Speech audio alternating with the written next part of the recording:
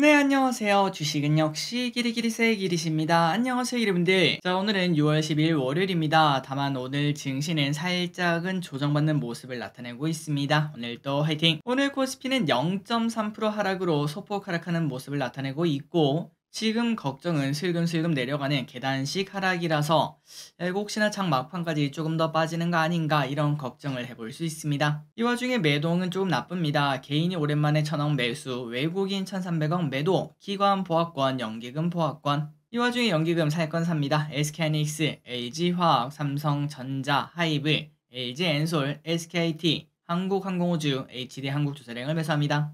그 와중에 코스닥은 보합권의 모습 나타내고 있습니다. 오늘 2차 전지가 나름 선전해서 그 영향으로 보입니다. 환율은 보합권입니다. 1293.3원. 미국 선물은 소폭 상승하고 있습니다. 코스피 선물은 외국인의 5천억대 매도가 나오고 있습니다. 이 부분이 살짝 걱정되죠. 그렇다면 추현스를 보도록 하겠습니다. 일단 이번 주에 가장 중요한 거는 물가지표 플러스 FMC라고 볼 수 있습니다. 아마도 눈치 보기가 나오지 않겠나라고 볼 수 있겠네요. 그리고 이 와중에 테슬라가 11일 거래일 연속 상승을 하고 있다고 하며 제너럴 모터스가 테슬라 슈퍼차저를 사용을 한다고 하죠. 이런 소식이 나오자 오늘 우리나라 증시에도 2차 전지 그리고 충전기 관련주 이쪽이 좋은 흐름을 나타내고 있습니다. 시가총액 사용들은 대부분 하락 중 플러스 음봉인 걸 확인할 수 있습니다. 오늘 강한 섹터는 전기차 충전소 관련주, 2차 전지 관련주, 임플란트 관련주, 육계 관련주, 그 반면 약한 섹터는 반도체 대표주, 면세점 관련주, 바이오 관련주가 약한 흐름을 나타냅니다. 마지막으로 한시 기준 외국인 매수해 보자면은